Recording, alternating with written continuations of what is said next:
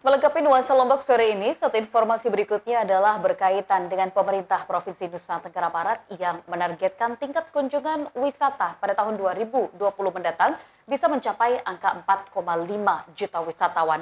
Untuk bisa merealisasikan target tersebut, maka persiapan matang pun telah dilakukan, mulai dari menggiatkan promosi wisata hingga menata destinasi wisata yang terdapat di Nusa Tenggara Barat. Pemerintah Provinsi Nusa Tenggara Barat menargetkan angka kunjungan wisatawan pada tahun 2020 mendatang sebesar 4,5 juta pengunjung yang akan berkunjung dan menikmati berbagai destinasi wisata di Pulau Lombok dan Pulau Sumbawa.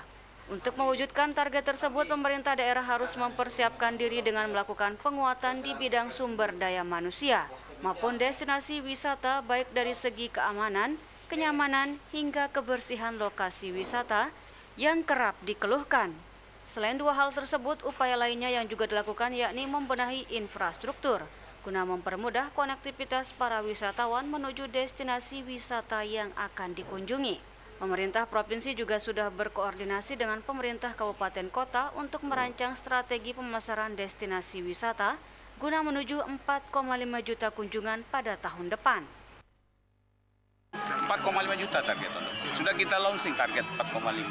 4,5 juta. Iya.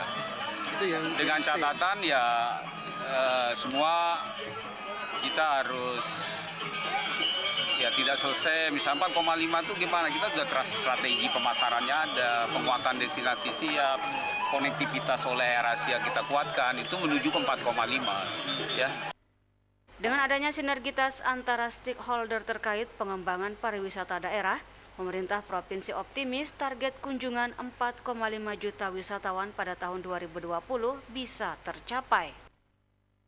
Maisara, Lombok TV, Mataram.